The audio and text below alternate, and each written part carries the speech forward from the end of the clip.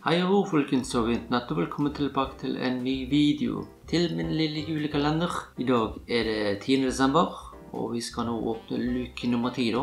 Jeg har nå allerede åpnet opp en del som dere ser her. Luigi, Sopp og bombene og selve Peach i tillegg, som var her ved slottet. Denne her altså. Det er sånn gøy til at du faktisk bor ved slottet på, på den måten. Men ok, luke nummer 10, hvor er du? Du er her. Får vi åpner opp her også. jeg er her. Er en liten stjerne her. Så er det selvfølgelig et problem å få disse ut. Ikke alle har vært så veldig greie med å komme seg ut. De liker å bo inni her, ser jeg.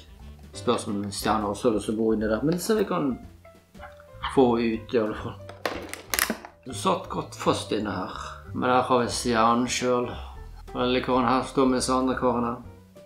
Kan du sette ved legge ned på bakken her ved siden av. Som resten av gjengen er på gressfeltet her. Hvis du nå lurer på hvor jeg har kjøpt denne her karen her, så har nå jeg kjøpt den på komplett.no. Ikke noe jeg har form for reklame i det hele tatt. Jeg har bare lyst til å gjøre noe julekalenderopplegg på dette her. Og det selvfølgelig finnes jo også andre nettsider hvor du kan få kjøpt denne karen her. Det er jo andre typer kalendere du kan kjøpe. Forskjellige typer som jeg har sett. Jeg har sett noen sånne Harry Potter-opplegg. Jeg har sett noe kalender for jenter, forskjellige typer ting der. Artig at det finnes andre typer, annet enn at det kan være sjokolade inni en sånn boks. Altså, som dette. Eller kult at det finnes andre typer ting. altså. Hvis du er ny til kanalen, må du selvfølgelig abonnere. Trykk på tommel opp, det setter nylig for pris på. Så inntil neste gang, folkens, så snakkes vi mer nå. Hei hå!